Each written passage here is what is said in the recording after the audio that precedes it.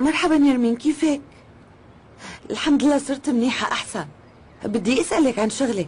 متذكرة هي البنت قرايبتك؟ نوران؟ هي اللي اشتغلت عندكن. إيه هي؟ الله شو كانت بنت ظريفة وحبابة. لساتها عم تشتغل وتساعدكن؟ إيه البنت كتير شاطرة وما بتضل بدون شغل. بظن هلا عم تشتغل ببيت سوزان آه هي سوزان المأنزعة؟ وكيف فيها تتحمل سآلتها؟ طيب هلا إذا قلت لها تشتغل عندي مشان الأولاد فكرك رح توافق إنها تترك الشغل عند سوزان؟ لا ما رح توافق تترك شغلها هيك وخصوصي إنه أولاد سوزان بيحبوها كتير طيب شو أعمل؟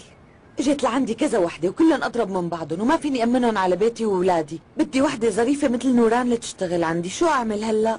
والله ما بعرف والله لساتها هي ساكنة معنا ده مزبوط؟ إيه ساكنة معه